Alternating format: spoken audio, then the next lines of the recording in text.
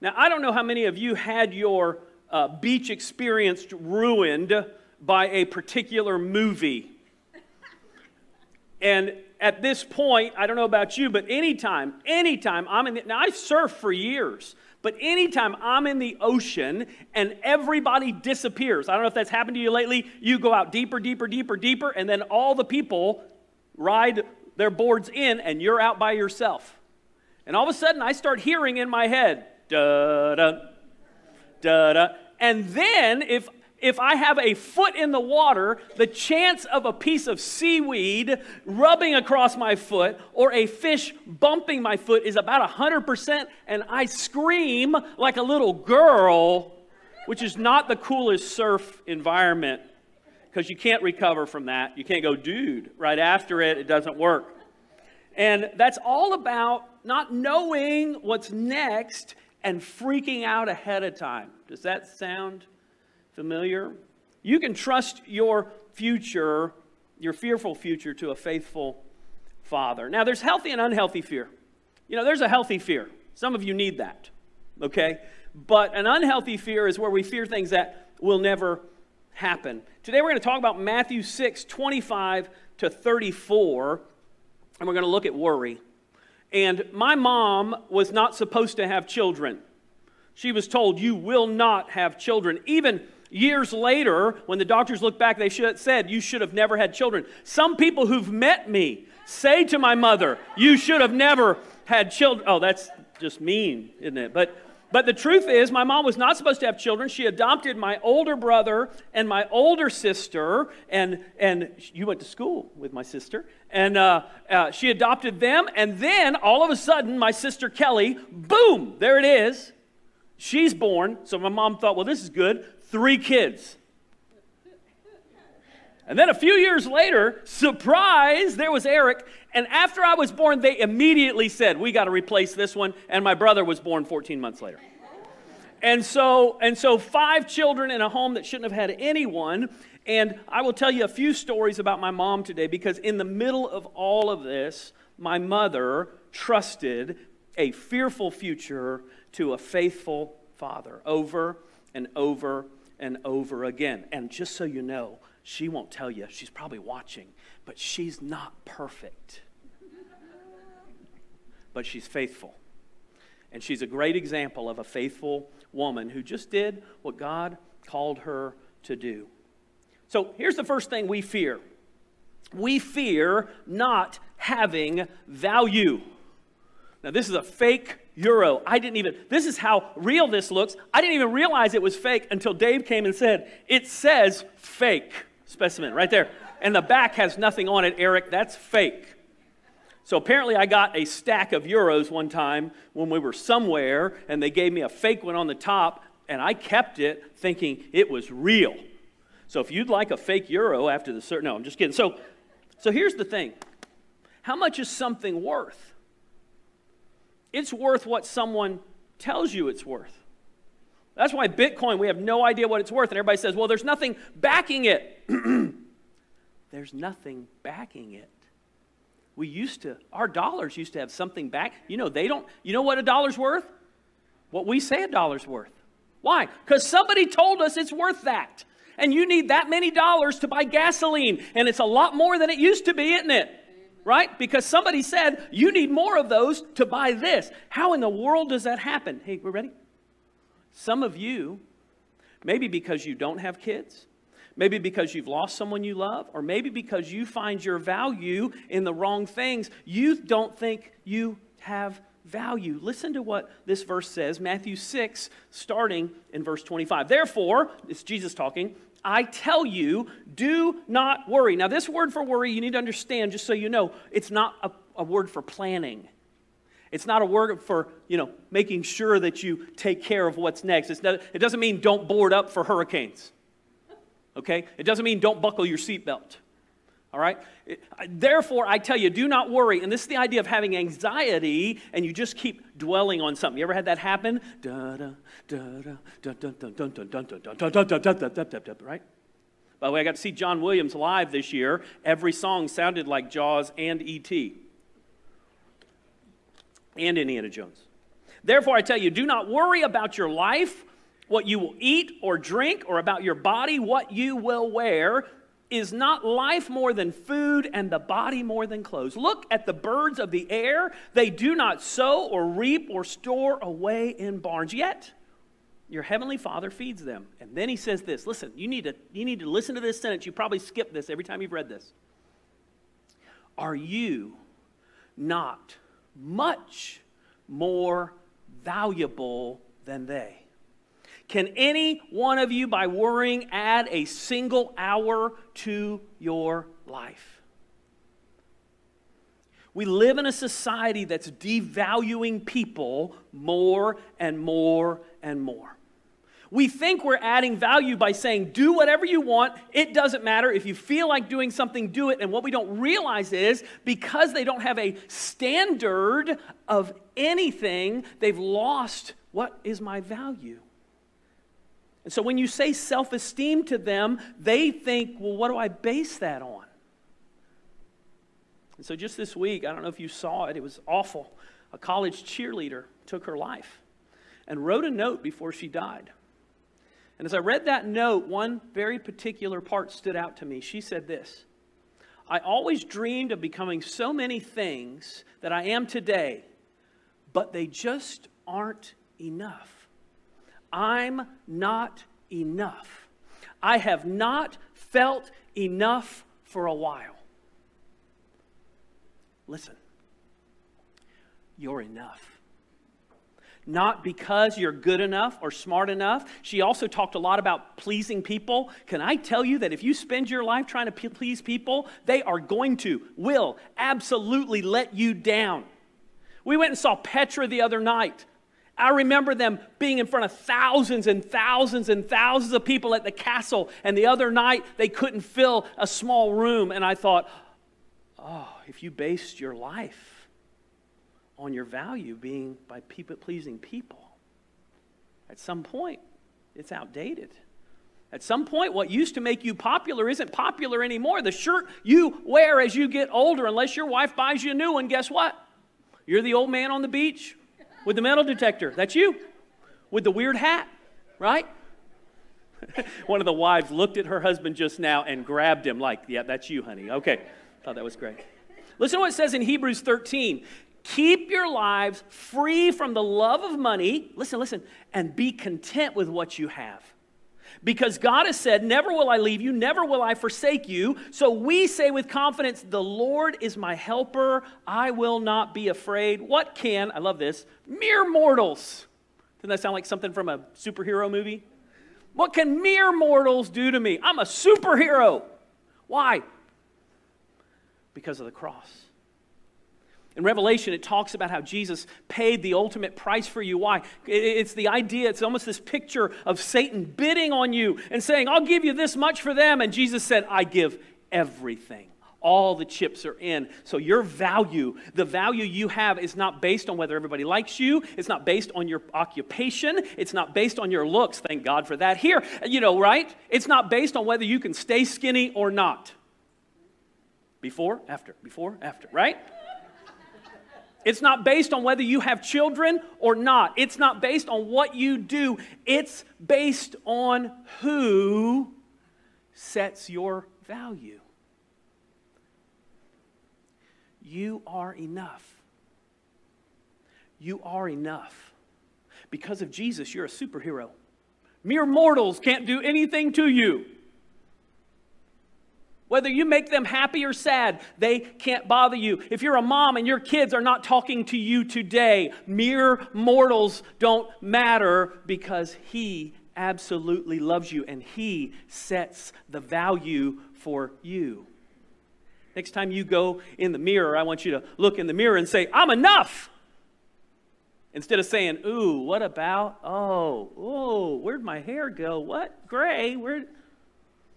Every time I get in the barber chair now, I'm like, those colors are changing every day. You can trust your fearful future to a faithful father. Let me ask you this question Am I finding my value in things, people pleasing, whatever, or in God's value? Do you really understand what your value? He sets the value. Only God Himself fully appreciates the influence of a Christian mother in molding of the character in her children. By the way, if you missed the opening video today, it's by Skit Guys, and you need to watch it. It's absolutely accurate. Amen. Number two, we fear being needy. We fear being needy. How many of you ever watch one of those hoarder shows? Anybody ever seen those hoarder shows? It makes you feel so good about your house, doesn't it? And then you go and throw a few things away just so you feel better right? So I have had this record since 1982. You were what, four? Four years old. So back in the old days, we had records only. But what was cool about them is you had a sleeve and you could read all the words to the songs. You realize that children now say, Alexa, play whatever they don't even have to listen on the radio with a tape player and hope that the DJ doesn't talk over their beginning of their song. Because then you hear the DJ every time you hear that song. Hey, right here on 91.5, we're going to play KC and the Sunshine Band with Sure Enough. Sure Enough. You ever hang on to stuff? One of the things about hoarders is they're afraid they're going to need something, so they hang on to it. The difference between pickers and hoarders is very simple. The pickers saved more expensive things. They're the same people. Watch the show Pickers and think if that stuff wasn't worth anything, then you would think those people are crazy too. And the truth is, we hold on to random things. And some, by the way, I got all the band to sign it. That was really kind of cool. 40 year old record. But we hang on to stuff. I don't know if you heard about the guy, uh, uh, the lady this week who went to uh, uh Goodwill to buy, uh, she bought this little head and paid, what'd you say, 35 bucks? 35 bucks to buy the head, to which Denise said, Who spends 35 bucks at Goodwill? She bought this head and took it home. They found out it was an actual head of a Roman statue from the first century. Holy moly.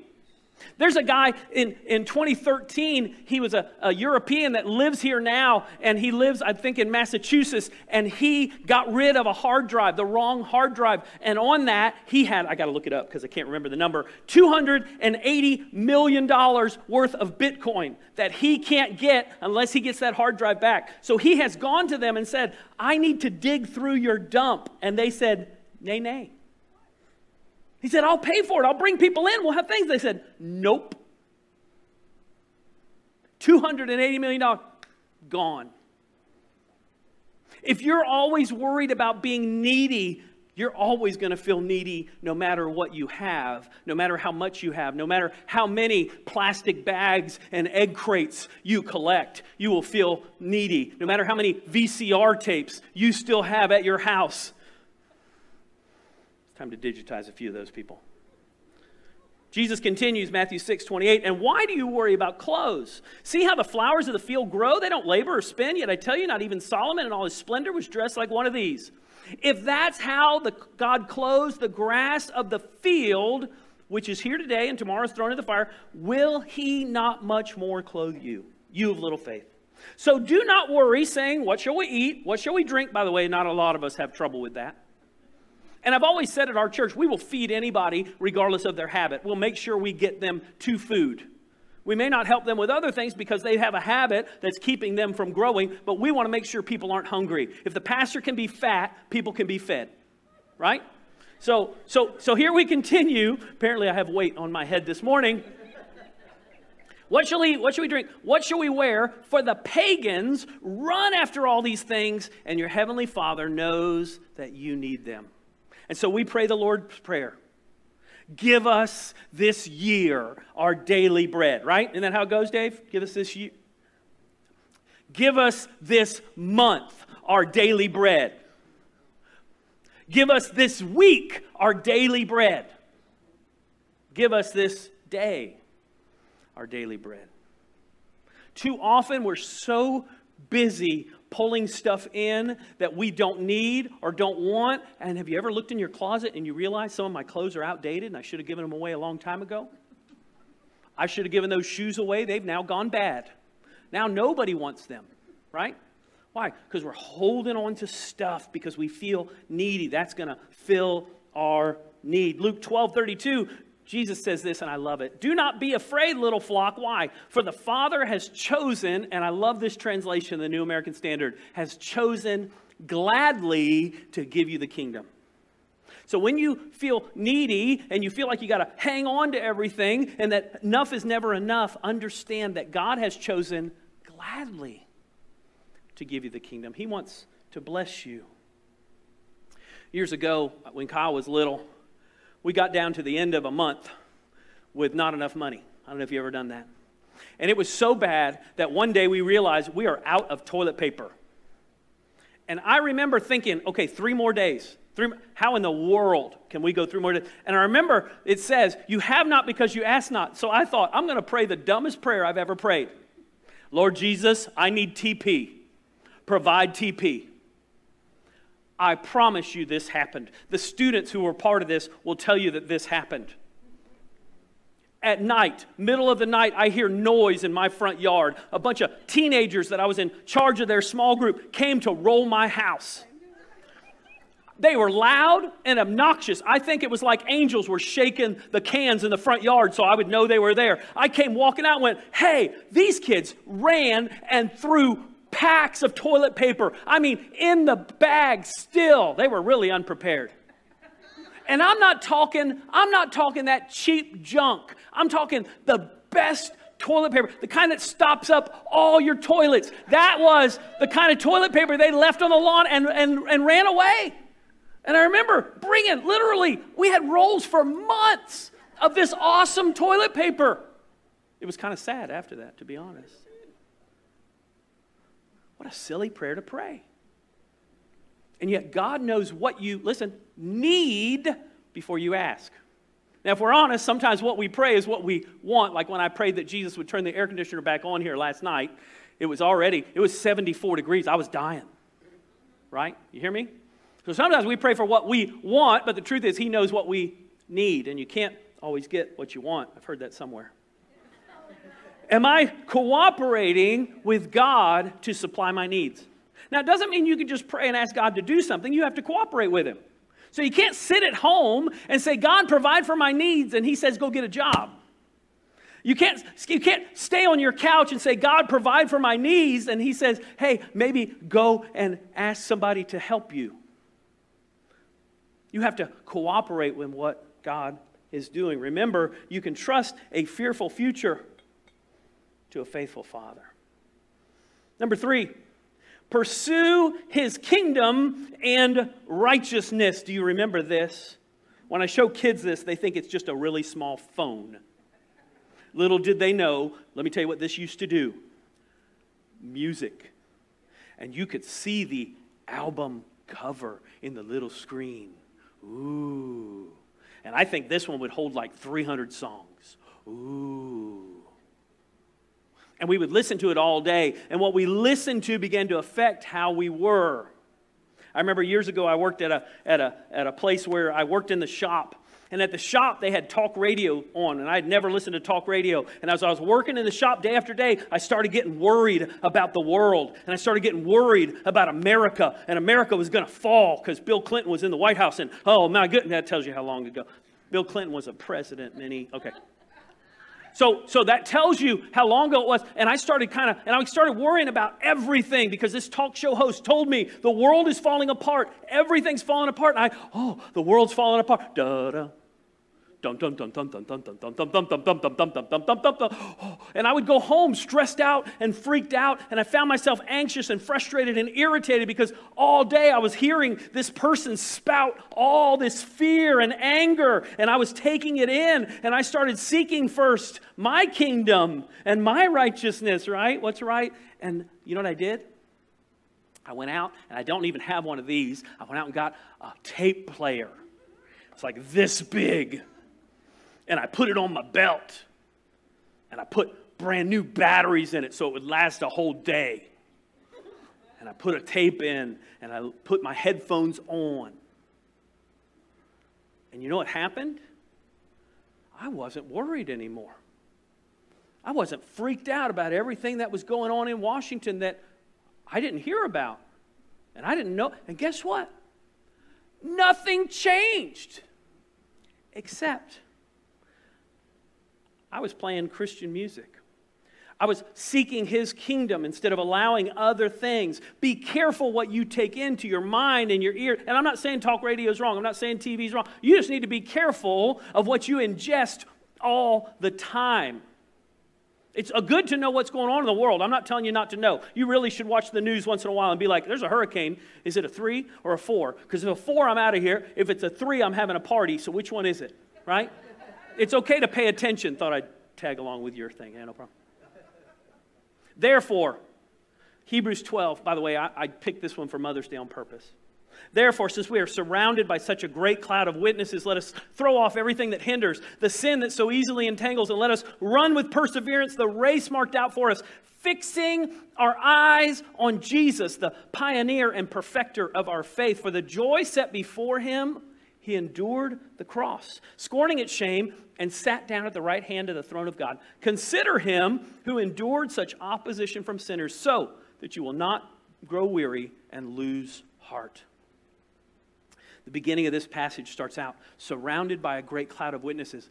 This description that's happening in this chapter is a description of heaven and it's a description of the people who've gone before us, the moms and grandmothers and great grandmothers who are part of the great cloud of witnesses, the theater that looks from heaven and looks at you and looks at me and says, Go, you can do it. And the author says, Hey, Quit allowing all this junk in your life, all this other stuff that, that's weighing you down and freaking you out and making your life miserable. Throw that aside. Why? Because all these people are cheering for you to get your eyes off of you and get them on Christ. Many of you right now have somebody in heaven cheering for you. Maybe it's a mom or a grandmother or a great grandmother who right now is going, Come on, I know it seems like that's a big deal, but from my perspective, that's not a big deal. They're cheering you on, they're cheering for you today. You may be discouraged and depressed, but they're not. They're saying, What are you worried about me for? Go! Drop all that junk and go. Matthew 6, Jesus continues Seek first his kingdom and his righteousness, and all these things will be given to you as well. Therefore, don't worry about tomorrow. Tomorrow will worry about itself. Da da.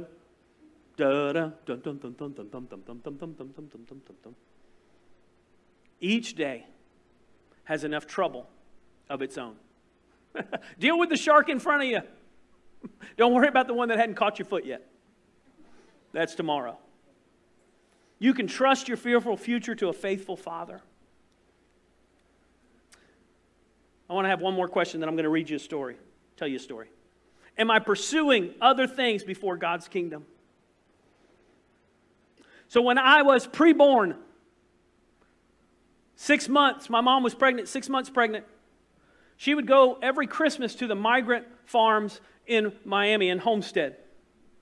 And she would take presents. And if you don't know my mom's story, my mom never, she had one Christmas with a tree her whole childhood. So Christmas is very special to her. It's very important. She wants to, she always wanted to share with people who have needs at Christmas. So she called this home that worked with the migrant families down in Homestead, and she said, How many kids do you have? And they said, We have about 15 older kids if you could bring them presents. So my mom said, I didn't just bring 15, I brought some extras. So I probably had about 20 presents. And six months pregnant, I r- drove down to Homestead. And I showed up, and 15 kids came in, and I was so excited. I had pre wrapped the present for these older kids. They said they were all older kids. She said, I was so ready. 15 kids came in. And then 50 kids came in. And then over a hundred kids came in, packed the place. And my mom said she did what any six month pregnant woman would do, and she began to cry. And she said to the director, Is anybody else coming? The director said, No. We're going to have to figure something out. All of a sudden, she said she never knew who these people were, but all of a sudden, two people showed up and brought two boxes of presents. And she said, Well, at least we have some more. And then she said, She said, Eric, make sure you tell this. Last night she said, You missed one part. She said, This next group of people I never heard from, the director didn't know they were coming, and I never saw them ever again. So, of course, I imagine in heaven, Jesus was like, hey, Brookins doesn't have enough presents. Can you help her out?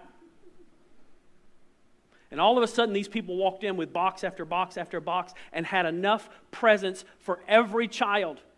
One particular child was a little girl. My mom was worried about her. She was three or four years old, and my mom thought, I've got presents for 14 year olds. There's a big difference. And they just drew the presents out of the boxes. They were wrapped, but they drew them out and just opened them. So she didn't know who was getting what. She said she watched as that little girl reached into a box, and my mom said, I don't know what she's going to get. And it was a doll.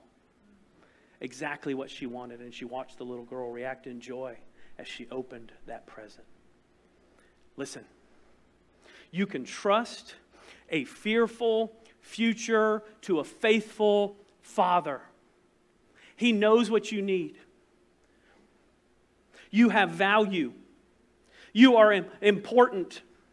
You are enough, not because of you, but because of what He did for you.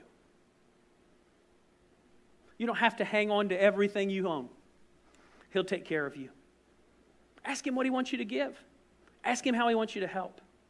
And then seek first His kingdom, and He'll bless you. If you're here today and you've never given your life to Jesus Christ, you can do that today. The first step to really walking in His kingdom is to say, Jesus, I surrender everything to you. I like doing things my way, but you're so much better than I am. I surrender everything to you. And the Bible says when you make Him Lord, when you put him in charge of your life, that he, because of his death and resurrection, he replaces your sin, your messed upness with his righteousness. And if you want to do that today, I'd love to talk to you after the service, or you can email me. We're going to do, release our butterflies outside in just a minute, but before we do that, I want to pray. We're going to have a closing song. We're going to give away some chocolate.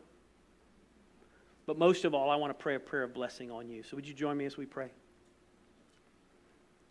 Father, I pray for that one who walked in this morning feeling less than. Lord, that one who didn't recognize their value. That one who's worried about tomorrow. Father, I pray right now they would know that you are faithful and you will take care of them.